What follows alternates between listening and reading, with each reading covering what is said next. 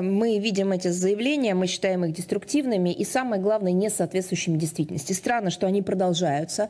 У нас э, налажен очень доверительный, хороший, плотный диалог с коллегами из МИД Армении. О, это традиционный был контакт.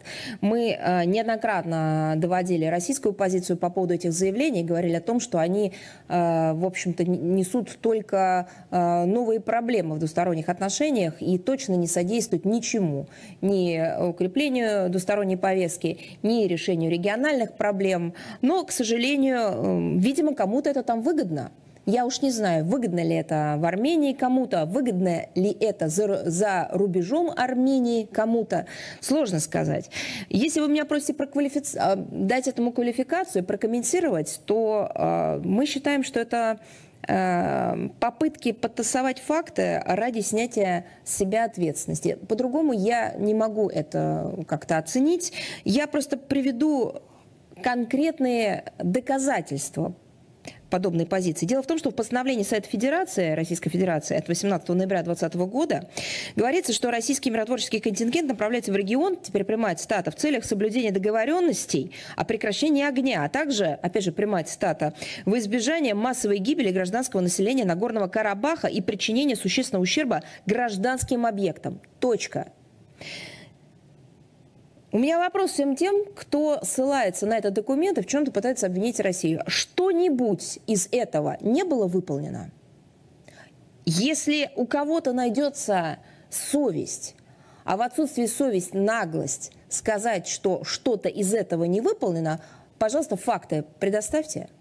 Положите на стол ваши аргументы, ведь их нет, кроме истерики и оскорблений теперь уже.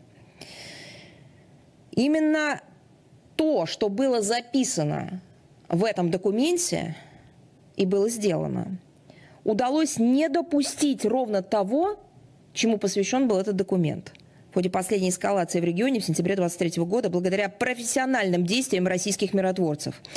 При их активном посредничестве 20 сентября 2023 года была достигнута договоренность о прекращении боевых действий и проведены переговоры между представителями армянского населения Карабаха и азербайджанских властей.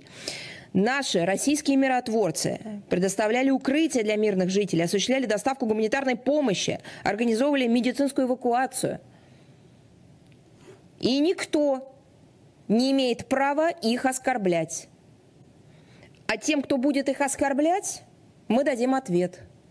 Что касается утверждения об этнической чистке в Карабахе, опять же, хотелось бы э, предоставления каких-либо фактов, если э, есть хоть какой-то документ какой-либо международной организации, а, которую в Ереване считают, э, так сказать, э, э, авторитетной, ну, например, Организация Объединенных Наций или какой-либо другой организации, вот если есть хоть какой-то документ или какое-нибудь заявление, которое свидетельствовало бы о том, что подобные этнические чистки были – Будьте добры, предоставьте нам ссылки на этот документ. Со своей стороны мы не раз отмечали важность создания условий для возвращения армянского населения в Карабах, основываясь на заявлениях Баку.